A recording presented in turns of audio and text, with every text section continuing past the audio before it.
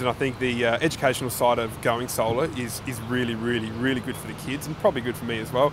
Um, one thing I did get kind of excited about, the guys from Zen were showing me the little wireless monitor that you get when you do get a, a solar system. And basically, it's pretty cool because it lets you know how much energy you're actually producing. So I can see this thing as being quite addictive and, and both educational. Every time you're going to walk past, you're going to be able to see how much energy you're actually producing from your solar system on, on the roof. I think it's a brilliant way to teach the kids be responsible for the electricity that they're actually using in the house.